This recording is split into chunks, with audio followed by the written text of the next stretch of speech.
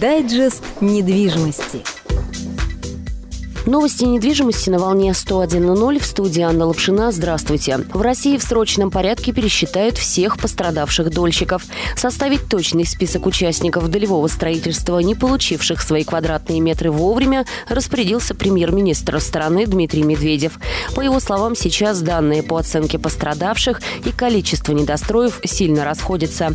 Подсчетами займутся региональные чиновники совместно с Росреестром и Минстроем.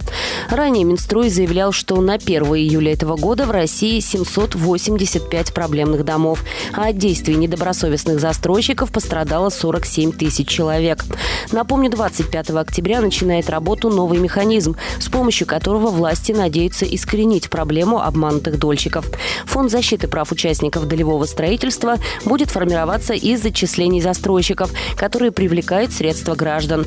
Размер взноса в компенсационный фонд пока будет фиксированным и составит 1,2 0,2% от стоимости каждого договора долевого участия. Средства фонда предполагается направлять на возмещение вложений дольщиков или окончание строительства проблемных объектов.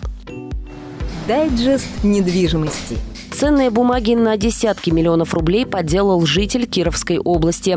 Злоумышленник использовал фиктивные закладные на квартиры, чтобы получать ипотечные кредиты.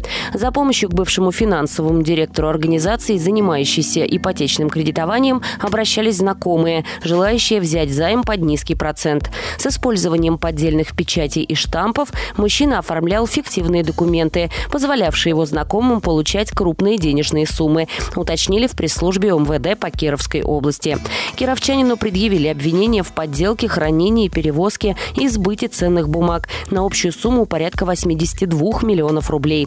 Уголовное дело с обвинительным заключением сейчас направлено в суд, а материалы дела в отношении недобросовестных заемщиков выделены в отдельное производство. Дайджест недвижимости. О новом порядке начисления платы за тепло кировчанам расскажут во время горячей линии. Она состоится в среду 25 октября в администрации города. С 11 утра и до половины первого дня по телефонам 760 300 и 760 366 можно будет задавать вопросы, касающиеся теплоснабжения, горячего водоснабжения и оплаты за отопление. Отвечать на них будут чиновники, представители ресурсоснабжающих организаций и управляющих управляющих компаний. С сентября в Кировской области действует новая система расчетов за отопление. Теперь плата вносится не равными частями в течение года, а начисляется только в течение отопительного сезона. Ожидается, что в октябре суммы в квитанциях по графе отопления вырастут на 15%, в ноябре на 40%. Самая высокая нагрузка ляжет на зимние месяцы. Рост оплаты может составить более 50%, уточняет портал iKirov.ru. На этом все. В студии работала Анна Лапшина. Дайджест недвижимости.